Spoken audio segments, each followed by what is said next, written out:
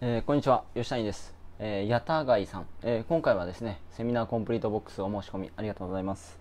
はい。まあ、今ですね何をやってるかちょっとわからないんですけれども、まあ、今回ですねセミナーコンプリートボックス、えー、熱海合宿の20万の映像と、えー、ブックメーカーの投資ノウハウ、えー、2本あと転売入ってます。なのでまあこれやっていただければ結果は出ると思います。で、えっとまあ、ネットビジネスをやるんであるならばあの熱海合宿の9時間ぐらいになる映像あるんですけど、まあ、そちら見ていただければ、まあ、インターネットビジネスでどうやってお金を稼ぐのかっていうところに関しては、まあ、ほぼわかるんじゃないかなと。あと久保さんですね3年で1億3800万以上上げた久保さんが何やってきたのか3年で何やってきたのかっていうことに関しても、まあ、映像を見ていただければ分かるんじゃないかなと思いますであとはまあちょっと高度な話もしてますのでもし映像を見て分かんないこととかあればご連絡ください。ただその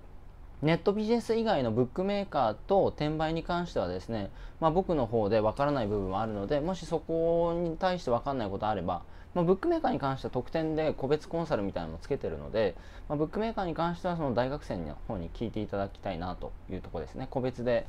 えー、対面談もついてますんで。はい。まあ、あとはまあ見ていただいて、えー、実際にアウトプットしていただきたいなというところです。で、実際に久保さんも、えー、なんだろうな、なんで3年で1億3000万稼げたのかっていうと、単純にまあアウトプットの量なんですね。実際に勉強して久保さんも、まあ、塾だったり教材を買ったりとかしたんですけど、まあ、買っていただいたんですけどもお客さんだったんですねもともともともとお客さんだったんですけど今あんな感じになってまあ本当に隠居生活ではないんですけど、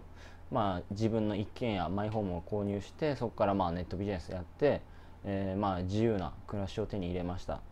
で3年4年前はですねもう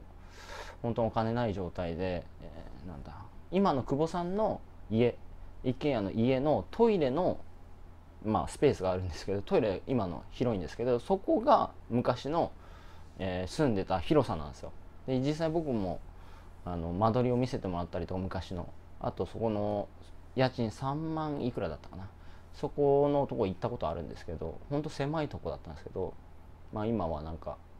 6SLDK かな、まあ、一軒家買いましたし。